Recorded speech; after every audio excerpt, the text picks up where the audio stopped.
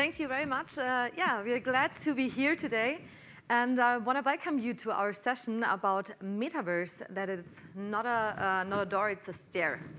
So um, I went to the exhibition hall today and I saw all this very, very awesome tech startups and, and uh, companies. And we thought of, no, I, it's, it's not necessary to, to talk about the advantages of new technologies or the new solutions or anything. Maybe our, a little bit. Uh, yeah, our, uh, our session is not about the tech, maybe a little bit about the tech. Um, it's more about empowering people it's about the people who use the solutions and how to bring the society to the point where um, metaverse is getting relevant and where it's getting to a real benefit. Okay, then let's dive in. Let's dive in. Let's start with the easy one. So the question is, what do these pictures have in common? You know, any idea? Don't know. You lie, you know the. but they very different, but they have something in common.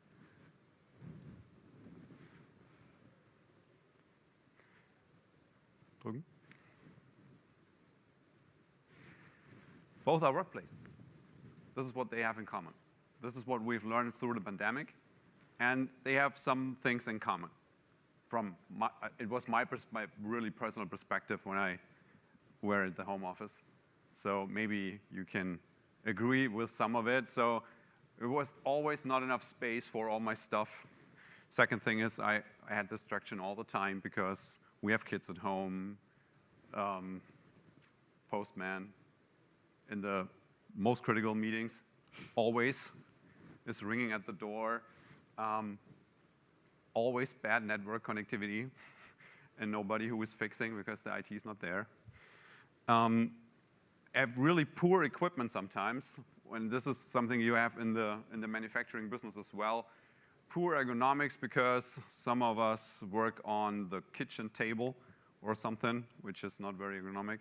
The same thing in the, in the manufacturing business. And in my specific case, poor cantina. Was not that good. But it was my fault. But sometimes you have this in industry, industry uh, manufacturing companies as well. So Sounds funny sometimes, but we have learned it the hard way in the pandemic. So we really had these issues, and a lot of social contacts in person got lost in that time. And it was pretty tough for us. It was very difficult to stay in contact and to drive business. And that was really merciless because business need to go further in the pandemic. So we have to find, we, have, we had to find ways, we had to find um, technical things. I mean, Teams meetings, Google meetings, all that kind of meetings you have seen. Most uh, spoken word and more spoken sentence. Can you hear me? Can you see me? That is the, uh, that was our life for that two years, two and a half year. And but this is not funny because in this time we really um, the need of physiological care exploded in that time. And this is really a very critical thing to see because we're talking about metaverse, we're talking about um, what we can do in VR, but if we need to stay at home and do collaboration to digital tools, we need psychological care. And this is pretty uh, a point where we say is it really always about the technology? So this is why we said it's not always about the technology. And in this talk, we want to strip that down to the th things that happens at, community and society perspective. Um, a lot of companies comes out of the comes up in, in, in that pandemic time and, and drive a game that is called the modern workplace thing. A lot of companies um, pushed it further to, to create a modern workplace scenario. And It was more, a, I, I, would, I would say, Apple kind of style when they say modern workplace is like this. So clean desk, white hardware, coffee cup, something that um, a shop floor frontline worker, I think, would not agree. And from our perspective and our experiences that we had with the customers and with, our work with the customers, that is not true. This is not, this is not the modern workplace, or not just this. Modern workplace is also this, because this is where we live, this is where we work. And we don't change that that easy, because not everybody can do home office because frontline workers are necessary at the shop floor. So, but how we can improve the workplace of the future and this enterprise scenarios. It's not always the sleeky looking desk. It's the dirty hands machine as well. And yeah, why I tell you this? Because with this in mind, the upcoming statement on the next slide will become a new dimension or a um, new kind of new point of view because this is a statement everybody here in the room of this beautiful XR community knows because you heard that a lot of times, me as well, Nina as well, when we go out to the customer after a very cool extended reality demo, showcase, or a meeting about a business context in extended reality. It's this one. Put in what you want. Yeah? The stuff gets relevant in five to 10 years. It's always somebody in the room who say that at the customer side in five to 10 years. And this is, this is bad for us because lights go off and you are completely out of the conversation because in five to 10 years you come back and then you, you, you, you, did, you did a demo where you can see the technique is there right now, but it's five to 10 years. That's not cool. And the question is, is that really because of technical innovation? Is it really because of the technical stuff needs five to 10 years to come to a point where you can use it? And we say, we think no. If we take a look on uh, example of my private life. So my first cell phone was a Nokia 5110. It was ugly yellow, and it was 1999. Nina doesn't know that. I think it was too young, but this, this cell phone, you, you, can, you can write SMS and can take a call. And the first iPhone come up on 2008, so it's nine years something.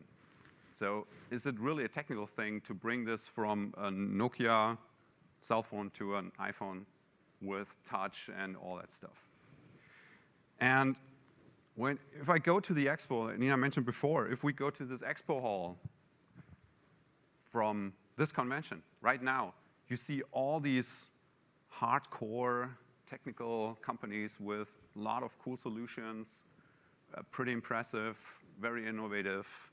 You can see things of the future, but it's happening the, right now, and you can use it, or you could use it.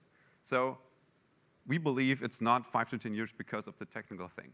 It's more a society thing. It's more a, a thing of how long people need to bring this in their daily habits or in their understanding of using this technology. Mm -hmm. Yeah, because it's not only the technical possibilities, it's about social change. So why it is uh, about five to 10 years? Um, yeah, because it's not only the technical solutions that uh, have to be developed, um, it's a rethinking which, uh, which has to happen uh, the people who use modern or, or, new technology solutions have to change their habits and there must be uh, something they can use. So you have to think about um, new stuff in the future, like, for example, sustainability. Um, the example to re reduce traveling or, or something like that. It's also about creating full accessible solutions to provide a real value to the customer. So to get a real wide uh, acceptance in the mass, um, we have to understand the people and their concerns and their habits. So um, when we think about really modern technologies, for example, if you think about AI, every one of us heard the sentence um, of people who say, oh, I'm afraid I, I lose my job because of uh, artificial, artificial intelligence. And we have to understand the people and their needs. And we have to take a brief look at that and uh, find uh, the answer for the why. Why is it a good technology? Why is it a good idea to use a new technology? And, and that's, uh, that's the big point. And uh, that's the importance when we do technical uh, prototyping. It's not only the solution, it's also the social part of it. To, yeah, to get a, a little example, um, I brought to you um, a little story from, from us. It's uh, one uh, project we did in the, uh, in the past. Um, we did um, a project for St. Pauli. I don't know if you uh, know the team. It's a soccer club in, uh, in uh, Germany. And um, more famous for their social engagement than their sports yes. performance. yes. They have a very social uh, impact, and it's very important for them um, that they yeah, have a very accessible uh, stadium and everything, and they have this museum. It's a museum about their soccer club, and they wanted it uh, as accessible as possible. And also, St. Pauli has a very big, um, uh, uh, a very big community of visual impaired uh, football fans, and so they were thinking about. It's it's a little bit sad that visual impaired people can't uh, yeah, can't experience uh, the exhibition uh, the way they should. They always need uh, uh someone who goes with them, who guides them to the, uh, uh, through the exhibition, who reads out loud all texts in the exhibition. So it's not a good experience for them. And that's where we started to work with St. Pauli and thought about possibilities to, yeah, to solve this issue. And so because But what was the issue? So we think it was, a, we, we thought about a different issue that yeah. issue really yeah. was. Yes, uh, that's the point. So we thought, we, we love tech, so we thought, oh, what can we do with, uh, with the HoloLens? It was HoloLens 1. Um, it was quite the cool stuff at, uh, at this time, and we thought, oh yeah, we have this cool 3D cameras, and we can uh, use these cameras in the, in the HoloLens to, um, to uh, track the, the, the surrounding of the blind person and to guide them through the exhibition. So he don't need uh, the stick which he usually uh, uses to guide himself uh, through the exhibition. And we thought this is the big game changer. So he can go through the uh, exhibition on his own and he doesn't need his stick. Then we talked to some, some people uh, who are blind and they told us that's not the need that's not the problem they uh, want to use their stick and it's important for them for their orientation we can't take this away from them, and they don't need a technical solution no, for, it's not because of this. the orientation. It's, it's really a, a, a, sign that they are blind for other people. So they say, I have, a, I have a stick, so everybody knows I'm blind and can take care of it. And if I give that to give it up, so nobody can, can realize that. And this was really an eye-opening thing for us because we try to use this technology in a very technical way. We can do the spatial awareness thing, and we can do this this PD. The first version uh, it was like you you park a car with park distance control, beep beep beep beep beep all the time, and it was. Uh, two, after, two years later, it was completely stupid what we planned or yeah, what we thought absolutely. that no, somebody needed. Yeah. So uh, yeah, it, yeah, that, that wasn't a good solution. So we rethink the whole project and um, talked to the people and said, hey, what do you really need? And then we came to the conclusion that it's more important to get uh, the right information from the exhibition at the, at the, right, uh, yeah, at the right time. And so we developed a solution with the HoloLens that um, we um, make information points, audio points in the whole exhibition. And one uh, audio point, we call it a audio bubble, is uh, making, a, making a sound. And you have this, this cool spatial sound in the HoloLens. So you can hear the sound coming from right in front of you. And then the blind person can use the HoloLens with the cool sound to guide himself to, to this uh, point in the exhibition. So he follows the, the, it's like a sonar sound. And when he reaches this point, he gets uh, the information from, for example, the exhibit from the tricot he, he, he's seeing. But it's, but it's a provided, but it's a provided um, um, part of the exhibition. It's not um, the brother or the wife and I ask, hey, what, what can you see? Is oh, it's boring. Yeah, it's so not happening. So you get the full information and you get a, a, a good experience in, in knowledge, in fun, in yeah. Yeah. So we brought the, the uh, relevant information to, to the people. They can hear the information on the, on the glasses and yeah, walk through the, the exhibition uh, on their own and uh, get all the information they want to know. And yeah, that's a little bit uh, of the thing that we used these glasses not for the thing that's uh, usually for, not for seeing cool holographic uh, um, content. We used it to empower people. And that's why the solution is uh, still in, uh, in use, uh, and we have very good feedback for the solution um, because we try to, to fit the needs of, uh, of our yeah. Fun fact is they want, they want to expand the system right now because they realize that people who are not visual impaired want the system as well because the information is better because it's, uh, it's, it's, it's an acoustic thing. You don't need to read something. Yeah. For lazy guys, that's, that is a cool thing. And uh, they used the, the, the, the voice of the, of the stadium speaker for um, all the text, and that was a very yeah, iconic pretty thing. Cool, so yeah. this, was pretty, pretty cool, cool, to listen. Yeah. yeah. Yes. So um, that is uh, always the way that we at Inclusify approach uh, such projects.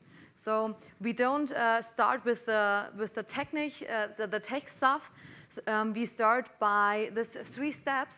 And the first thing is always learning. It's always understanding our customers and their needs. So at first, we take a step back and understand the users. We, we talk to the people uh, who are going to use the software. We, um, on the other hand, try to do like a little bit technical envisioning so our customers understand what uh, devices are, are possible or which possibilities they have.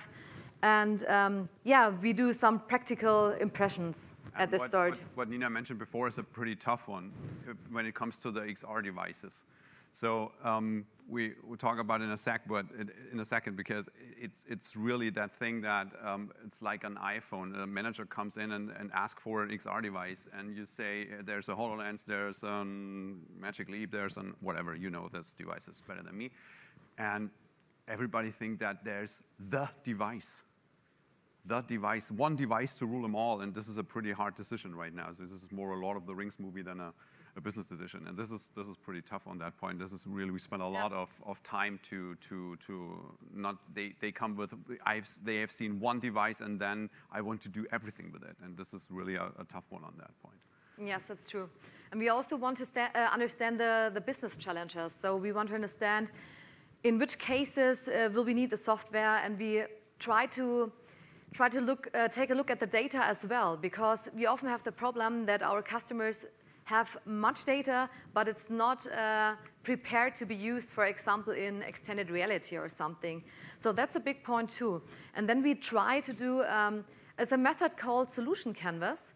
We try to, um, to make uh, use cases and, uh, yeah, and look on, uh, on the pros and cons.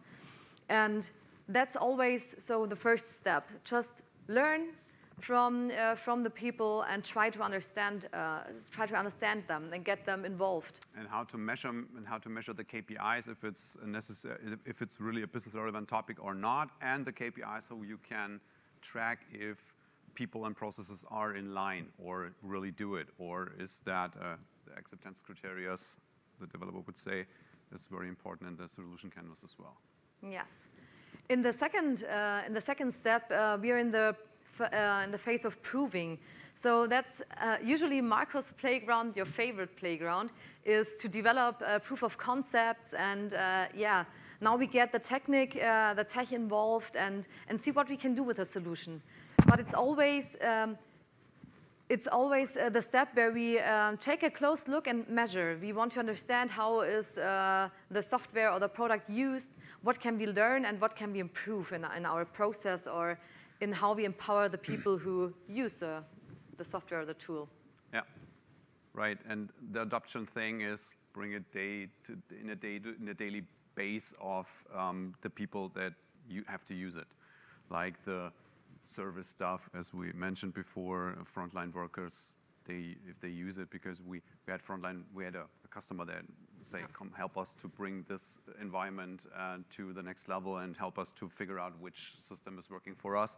And um, they ask us a lot of technical stuff. And uh, the first question we ask is, what is the expectation of your staff on the front line, frontline workers? And um, then we started to talk with the frontline workers, and they said, I'm not interested.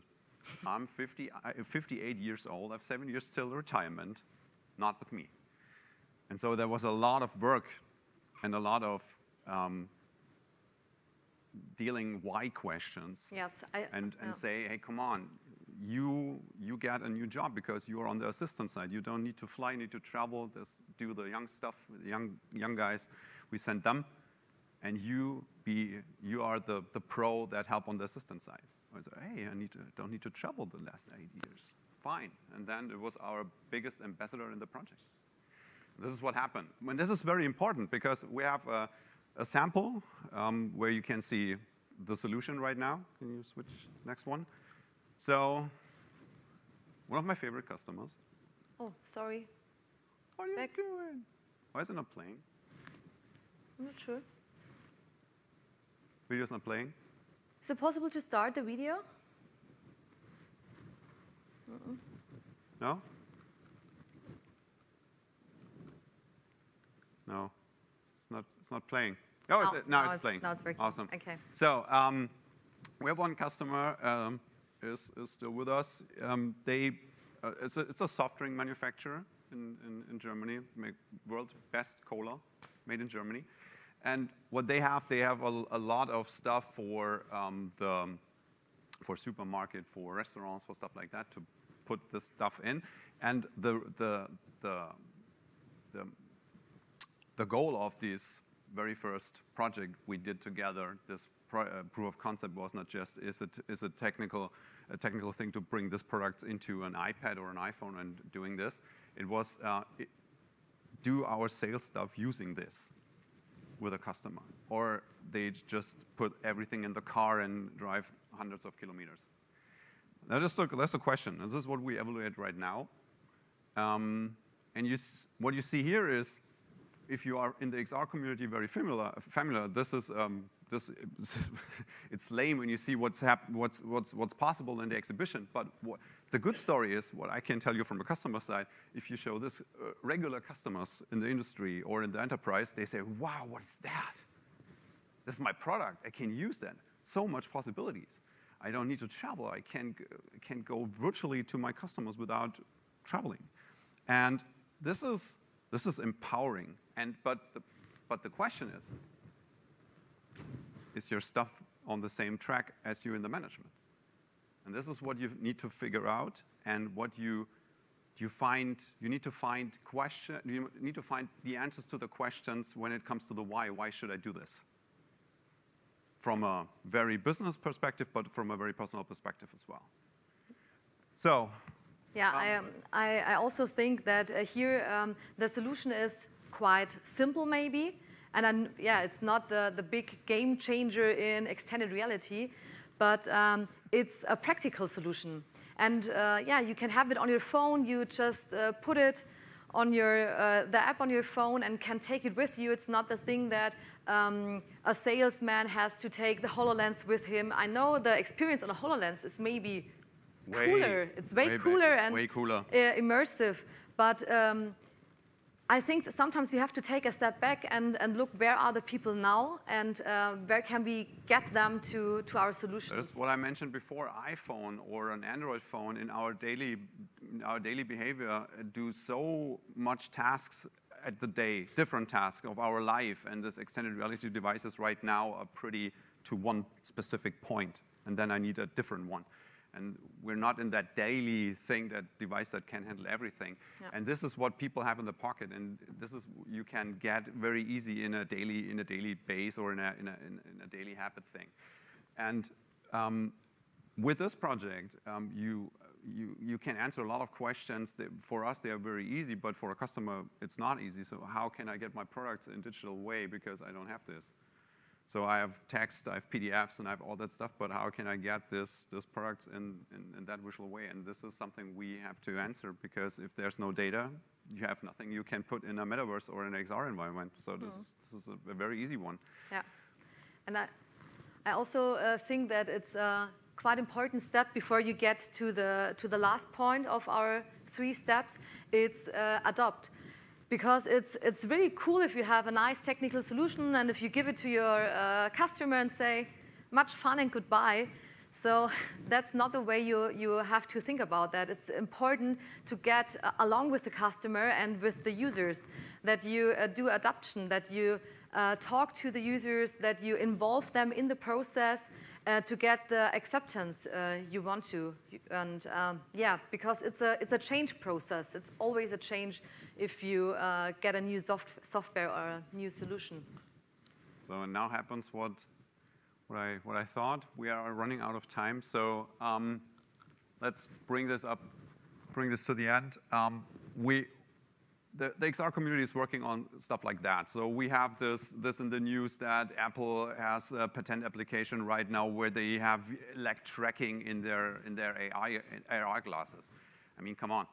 Seriously, you don't need this to drive XR business right now. If you're waiting for this, we have wait five to 10 years yeah. for maybe. But I think what we have learned in the pandemic in the last two or three years, especially in the enterprise, is the power of video is a very powerful one, and it could be the stairs to the metaverse if you can combine this.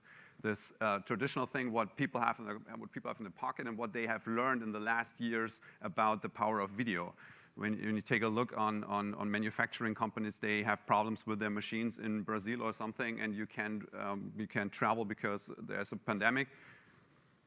They do this with WhatsApp video right now. I mean, three years ago, we went in this company and they say, no, this is a legal issue because there's a camera in the HoloLens in front. You will never come to the shop floor. And now they do this with WhatsApp video.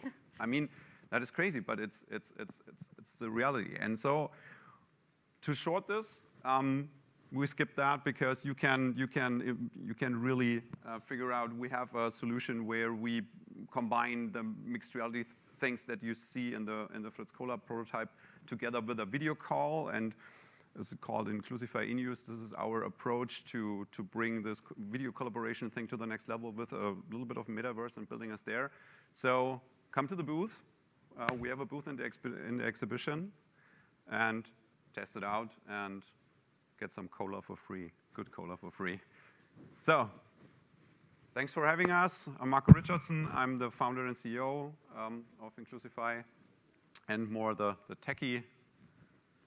And with me, we have Nina. Nina can tell you a lot of uh, stories and things in the digital change and transformation because she's our product manager and has the connection to our customers. Thank you.